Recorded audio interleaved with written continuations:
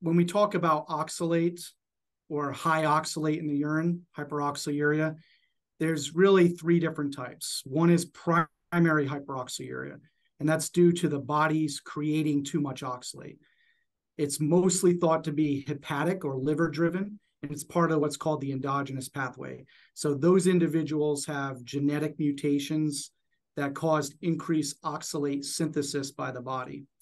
The other type, enteric hyperoxaluria, has to do with the oxalate that, we take in through our diet. It has nothing to do with what our body's creating, but the oxalate that we take in through our diet getting absorbed more than it should because of fat malabsorption. And that's enteric hyperoxaluria. So it gets absorbed into the blood system and gets excreted out in the kidneys, and they have hyperoxaluria or high oxalate in the urine. And then there's an idiopathic group where we don't actually know what the cause of them having high oxalate in their urine. And so there's three main categories. The major cause of enteric hyperoxaluria is gastric bypass surgery. So Roux-en-Y gastric bypass. Other causes include anything that can cause malabsorption in the gut, but can be pancreatic insufficiency, Crohn's disease, other surgeries that have been done to the bowel. So anything that causes malabsorption.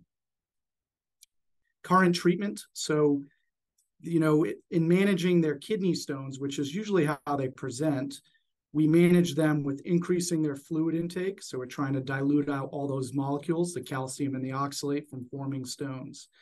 In regards to the oxalate, we don't really have any specific treatments to manage the enteric hyperoxaluria, the high oxalate that comes from the gut.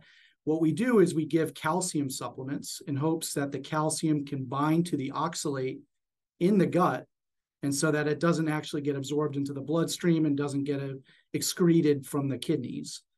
And then we do, with the fat malabsorption, we do make a lot of dietary recommendations. So we tell them to decrease the amount of fat that they take in so that they have less fat malabsorption, which is the driving problem that causes the enteric hyperoxia. And we also tell them to lower their oxalate content in their diet. All extremely tough to do. And so we're kind of in this pickle in a lot of ways because we don't have a great treatment, and a lot of it is dietary recommendations.